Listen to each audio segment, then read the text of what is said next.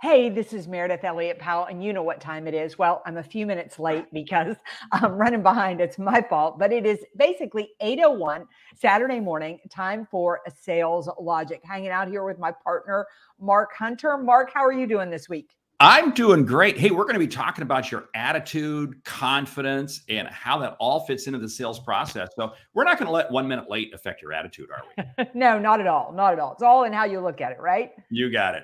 All right, let's rock and roll.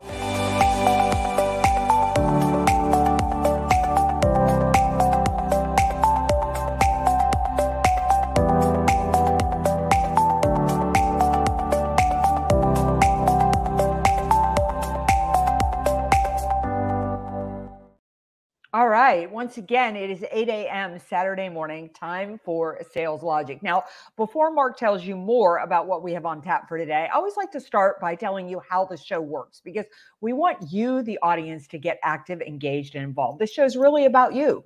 So if you have a question, just send it to Mark, send it to me, or go to saleslogicpodcast.com. We'll feature you right here on this show. We cover a hot topic, recommend a book, and because we want you to get return on investment, we leave you with a lightning round. So, Mark, how does today look? Well, today looks great, and I love the topic that we're going to be talking about. The topic is what role does attitude, confidence, and kindness have in the sales process? Okay, that, that that's a that's a head spinner for some people. let's start off first with the question. The question comes from Mary. She says, I'm a real estate agent, and right now interest rates are killing my team. We've gone from the best year on record to looking at a tough go until interest rates settle and start to come down. How do I keep my team motivated, engaged, and believing they can continue to be successful? Yeah, what a what a great question, right? And you know, not only the real estate industry, but a lot of industries. I just uh, spoke for an insurance um, organization this week, and they are calling this a hard market.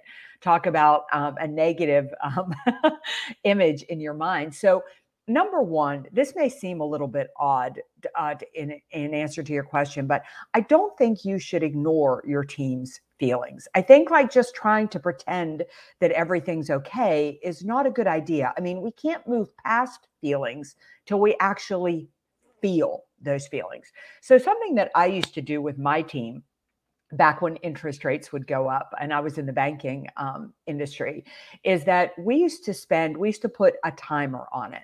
You get 30 minutes, 15 minutes, 20 minutes to complain about every reason that what's happening to you.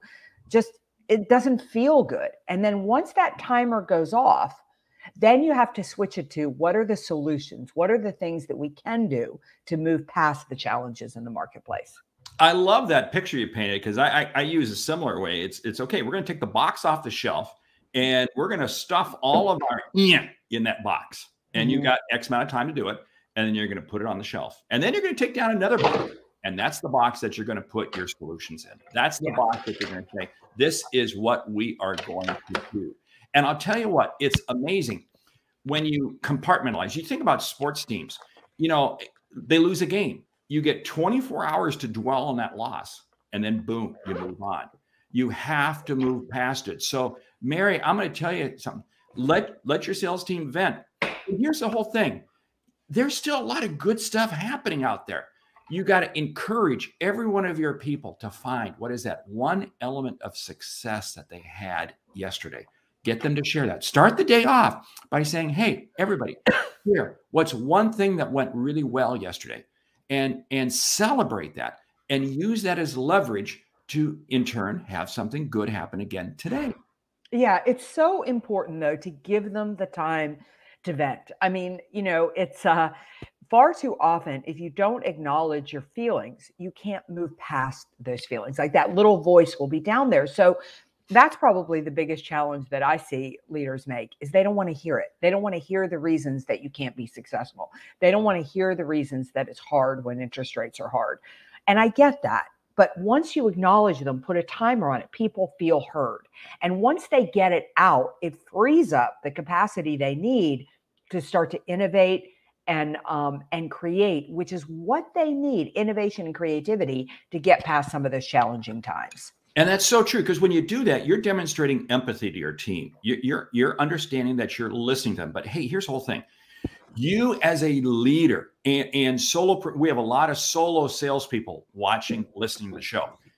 You can't allow yourself to become overwhelmed by that. You have to always keep. This is, you know, I I'm viewed as the optimist because I I can't live in any other world. Now, how do you do that? It's finding those little pieces of success. You know what? You know what I find very interesting? The valleys are never as deep as we think they are. And the mountaintops are never as high as we think they are. When we're in the valley, we think, oh, the sun is never going to come up again. But you know what? It's amazing ah. how it changes. The key is keep momentum. Do not ever let momentum stop because as soon as you stop, you're going to freeze and then it's all over. Yeah, and I don't know the age of your team, but there's um, you know, if you have anybody who's been in this for 20, 25 years, you know, when I, was speaking to a group of financial service professionals um, a couple of weeks ago, and um, there was a banker in there like me who we started loaning money at 17%. And um, and I remember dancing a jig when it fell to nine. I mean, we thought when it fell under 10, we thought, oh my God, we are going to make so much money. It's crazy. So hearing the stories from people who have been there before who have kind of been in the winter and can tell you that spring is coming and and there's a lot of wisdom to be gained from that experience you know um, when when i spoke to the insurance group on tuesday the the leader had everybody raise their hands who was under the age of 45 and it was over half the room and if you're under the age of 45 you've probably never seen really high interest rates you've never seen um, inflation because the economy has been really good for a long time. And that really, really struck me. So when I hit the stage, I was interested in anybody over the age of 55 and just joking and laughing about the times that we had seen and the fact that you'll come through them. So there's a lot to be, there's so much power in history and seeing that people have come through bigger challenges than you have. It's not only enlightening, it's motivating. Yeah, and it's not just interest rates, it's the whole state of the economy. And of course, interest rates drive the economy. And you know what's interesting is the last time the economy had a little struggle, we can use that R word. I don't like to use it, was 08, 09. Right. And that means that means today who people who are under the age of 30, 32, 33, they've never experienced it. They right. have never experienced it. And I do a lot of work in the tech space and speak to a lot of tech groups. And they're like totally, oh, they can't, they can't believe this. But here's the whole thing attitude, confidence is absolutely the driver of your sales success. This is why I say you, the attitude you have going into a sale predetermines the results you get coming out. So I'll tell you what, if you don't fix your attitude, you won't fix your sales. Yeah, and I think one of the greatest and probably easiest ways to um, to fix your attitude is um, is to think about the talk that you give yourself. This happened to me just the other day. And listen, this is something you constantly need to do. But I was flying from um, uh, Atlanta, Georgia to Little Rock, um, Arkansas. And um, and I got to the airport. My flight, in fact, I almost took a picture of the screen. I was just about to take it to send to my mastermind buddies. It said flight leaving early, right? And in the moment I went to go get my phone, it said flight delayed to 12:30 p.m. I was supposed to take off at 11, um, quarter till 11. Now it's delayed to 12:30 p.m. I looked at the people next to me and I was like, "Did that just change? Did we just see that?" Well, what happened was we had a plane, we had a crew, we had two pilots. But apparently, they decided there was a flight that was more important than our flight. So they took our pilots off our plane.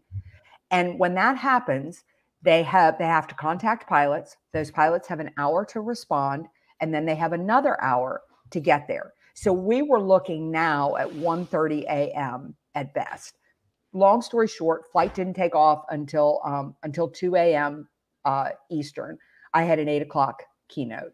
I was not happy. I was i mean the talk going through my head was why do i do this? It isn't worth it. This is going to suck. I'm going to be exhausted. Here goes the rest of my week. I caught myself in the middle of it and it was like, okay, let's take a breath and just change the words going in your head. Like, maybe this will be okay. I could get there by 3 a.m. I could go to sleep. I could get maybe four hours of sleep. All I have to do is get up and do a keynote. I just need energy for an hour and I can I can chill out. And I thought, what would make me happy in the moment? So I made a deal with myself. If I wrote one blog and made three sales calls, I could watch crap television. My point is, I worked on the talk going in my head to start to shift my attitude. That is so key because again, it's your attitude going in, and and you could have carried that negative attitude over from the flight to the keynote. But think about it, the audience doesn't care. The no. audience doesn't care. This is the whole thing. We in sales have to remember that when we're in front of a customer, that is the most important thing. We got some great comments coming in from some of our mass, mastermind members, and it is so spot on. Hugh wrote that, you know, write out the positive. It is so key. There's yeah. something um, therapeutic about writing out the positive. This is, you know, Zig Ziglar used to have this approach, and and and I, I, I every morning I start. To, what are the five things I'm thankful for? What are the five things? I'm guilty of not always writing them down, and I probably should. But you, when you dwell on the positive, it's amazing how you find other positive things. But if you had chosen to dwell on that flight and and and all of the issues, and didn't they realize that you're on that flight, so it's the most important flight to you. But right. There's, but there's nothing. See, this whole thing. So many times we can't control interest rates. We allow negativity to come into our lives because we're allowing things that we can't control to impact our lives. Wrong, wrong. I can't control interest rates. So I need to find my solution. My solution starts with my attitude by finding the positive, whatever it might be, a very small little piece, but I'm going to find the positive. Mary, your agents, they may have had one phone call that just went positive. Somebody says, "Yeah, I think I, maybe probably in next year or two we're going to look at selling, you know, our house." Great, great. That may be the most the most enlightening, positive thing happened all day. That's okay. Dwell on it. It's amazing when you're positive. It's amazing how many more positive things. Lucky people are not lucky.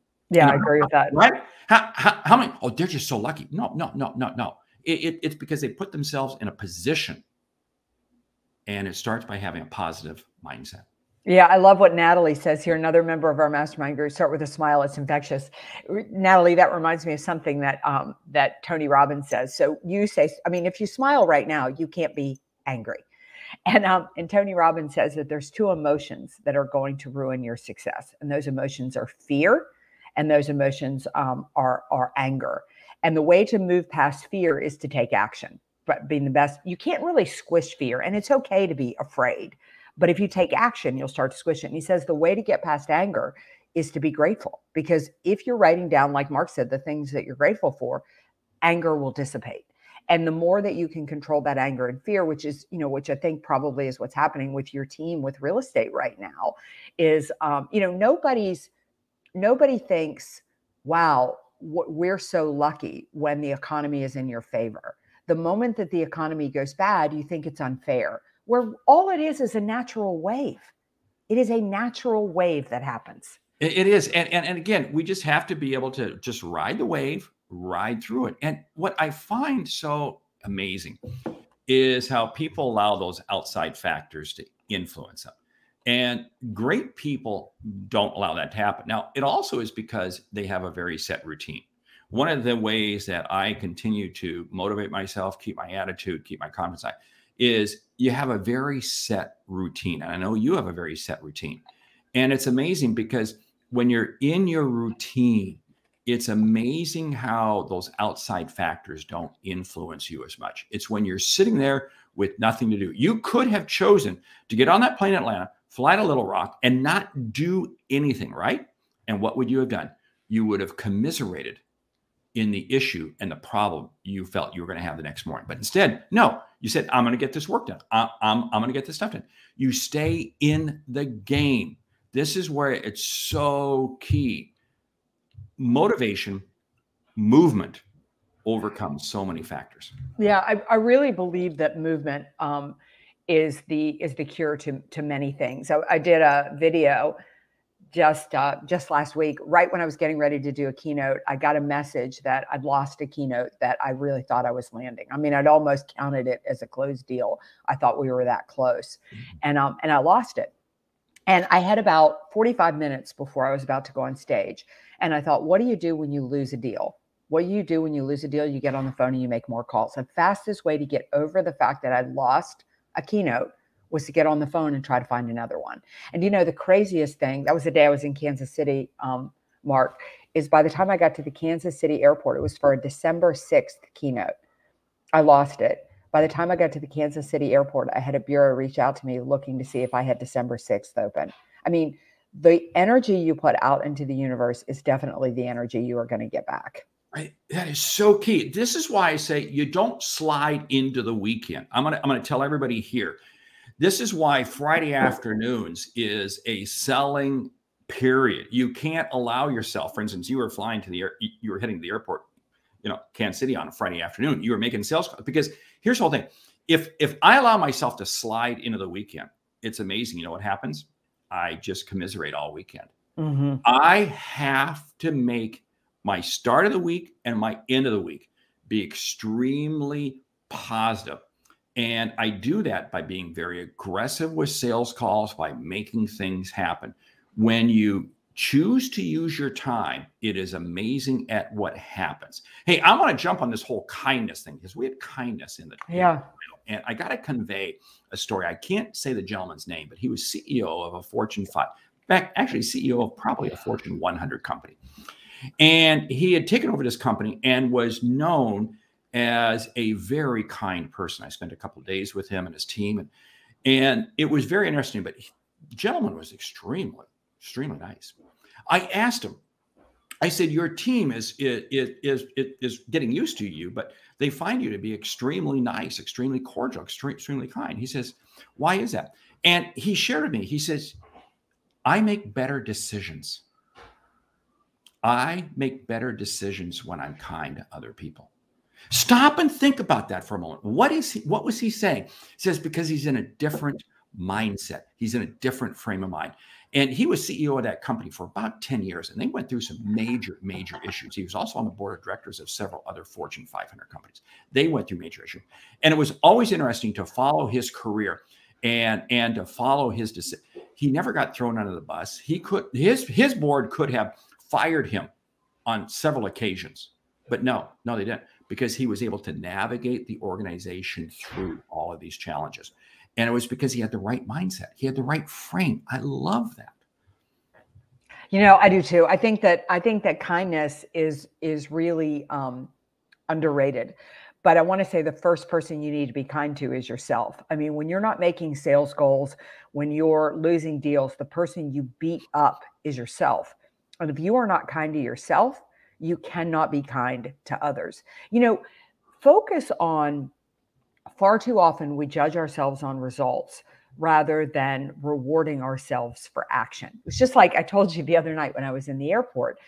I made a deal with myself, and my deal was if I made three sales calls and I wrote one blog, my reward was I could watch crap television. Now, um, I don't ever give myself the luxury of watching. That's not you. That is not you. But I, but if, but you know, left to my own devices, I could sit in my bed all day long, eat junk food, and just watch crap television. I could be very happy doing that, but it's it's not my mo at all. So that was the deal. It was, but I rewarded the action that I took. See, that is so key because you do you, you, you beat up on yourself and you know what happens? I also find is that people begin beating up on everything else. Oh, if if if this wasn't happening, if this wasn't happening, and they spend all their focus passing blame rather than looking for the solution. Dave Sanderson, another member of Mastermind, grace is fueled by gratitude. Gratitude eliminates fear. It is. This is why I I, I start off the day and I'm. What are five things that I'm thankful for? I, I'm going to encourage everybody to do that because again if I don't start the day right, it's amazing at how it can go south pretty quickly. Yeah. Yeah, abs- absolutely. I love um, I love what Dave Sanderson says here is that gratitude eliminates fear. Really, really focus on, you know, on gratitude. Again, though, you know, what I'm going to say is progress. Mm. Give yourself you know, my husband and I were talking about this last night because he wants me to be perfect at tennis, and I am far. Wait a minute, hold on, hold on. Aren't yeah. you perfect already? No, no, no, no. I only started playing tennis six years ago. And I was telling him, I said, you know, I'm playing 4 0 tennis right now. I said, that is a lot of progress. Am I perfect? No, but I've made a lot of progress. And confidence comes from focusing on the progress that you've made. Are you better? It can happen in business all the time. I mean, you're like, you think you should be at a certain level, but look at where you've come from. Be kind to yourself in that language for the progress that you've made. See, and that's where our mindset gets the worst of us because we do we we think we're much further along. No, we eh, relax, but again, look at where you came from, and this it it it it, it is so amazing, and I love the comments. I, am going to pop up pop up here. Net.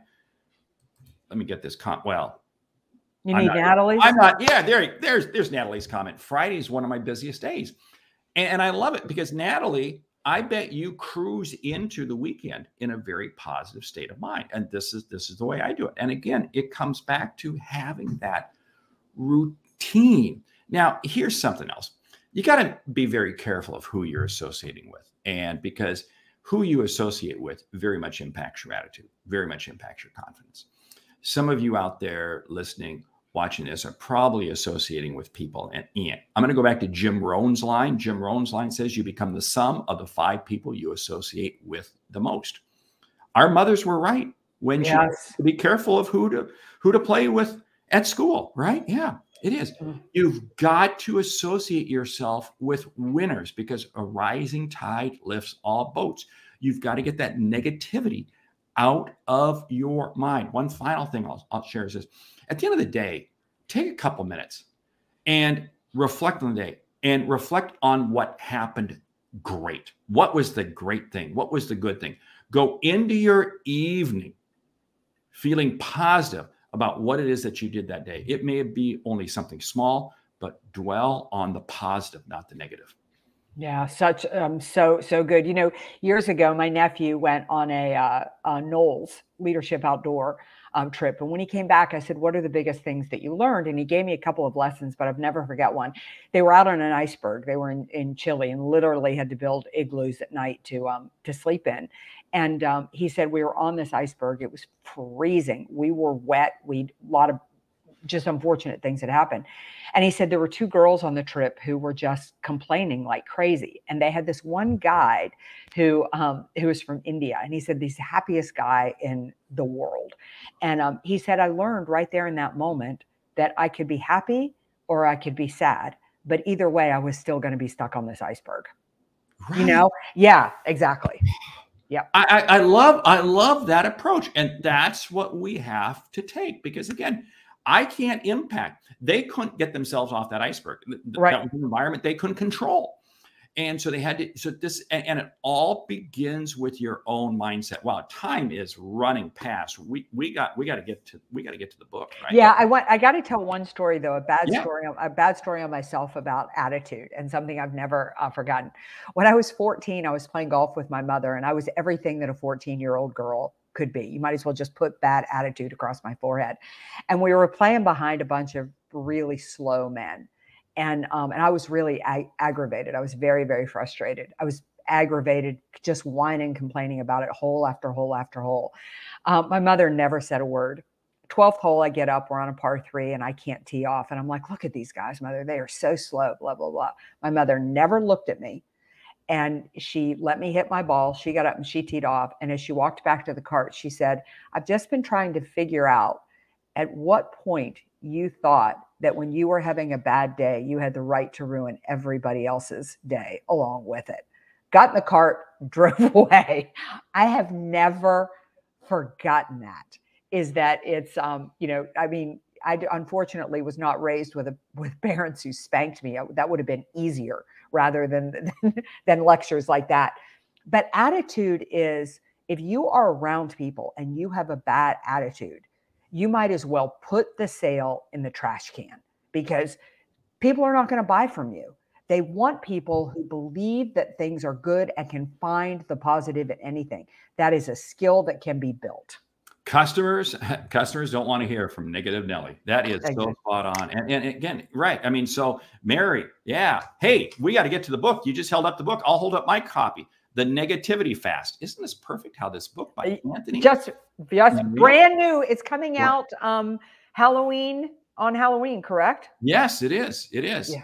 yeah. And I'll tell you what, this is a book you got to read because again, your attitude going into the sale predetermines the results you get coming out of it. Now, I just picked up my copy yesterday, so I haven't had a chance to read it. Have you? I haven't either. I'm I'm two chapters. I'm two chapters in, but I was really um I was really drawn to the fact that what I loved, what I love about this book that Anthony's written is it is about taking control of your attitude.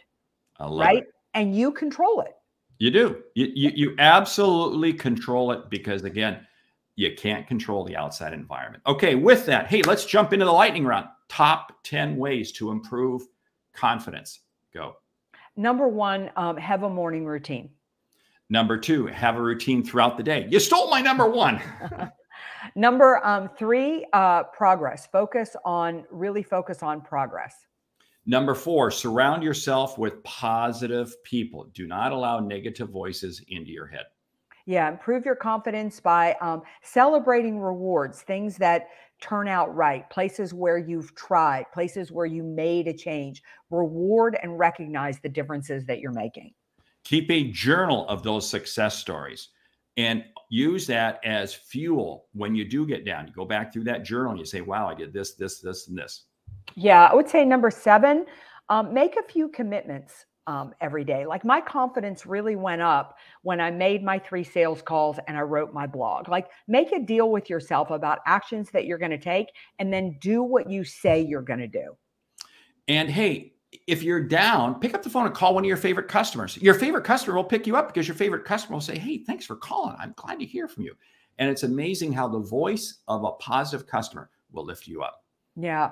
Um, take action. Always take action you know, when you're feeling down, when your confidence slips, get in motion.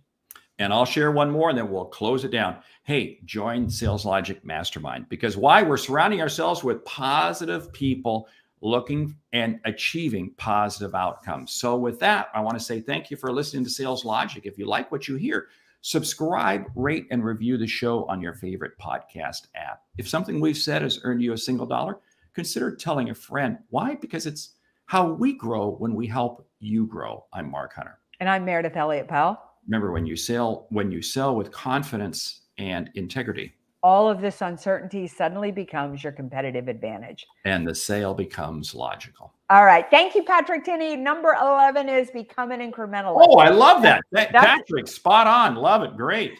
That's an awesome one. And Renell, we'll take a look at this book um, uh, for next week. But for those of you who have not checked out the Sales Logic Mastermind, go to saleslogicpodcast.com. You'll find information there. And we'll see you right back here next week, 8 a.m. Eastern, for another episode of Sales Logic.